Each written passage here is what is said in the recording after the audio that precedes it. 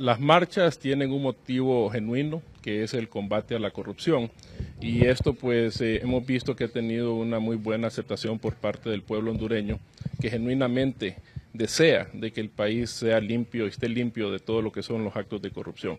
pero realmente viendo ya cómo se han transformado los hechos, pues miramos ya un efecto donde los partidos políticos, y muy en especial el Partido Libre y PAC, se han tomado estas marchas y ya lo han convertido en un tema estrictamente político, donde se pide la renuncia del presidente Juan Orlando y un paro nacional para poder crear el caos en el país. Yo solamente le quiero recordar al pueblo hondureño de que en la crisis política del 2009, esa crisis nos dejó como efecto más de dos millones de personas desempleadas, nos dejó como efecto una economía totalmente resegada, que hasta el día de hoy empezamos ya a ver el principio de una mejora después de que ya ha pasado tanto tiempo, estamos hablando ya casi ocho años, eh, seis años de que han pasado y todavía seguimos resintiendo lo que, lo que sucedió. Estos actos políticos por parte de estas personas que en realidad no quieren el desarrollo de Honduras, sino que lo único que, quieren es, el es, un, caos a nivel internacional,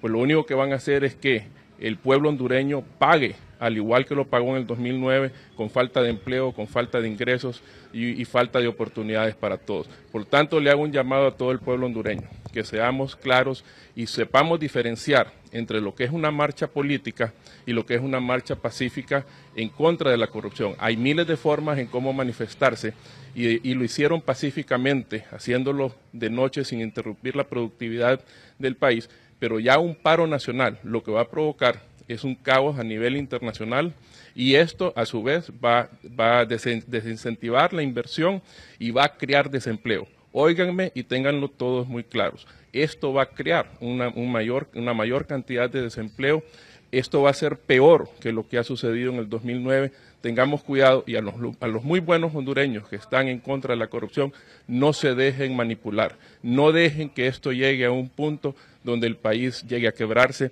y que, y que, y que tengamos un caos político que al final no vamos a poder remediar.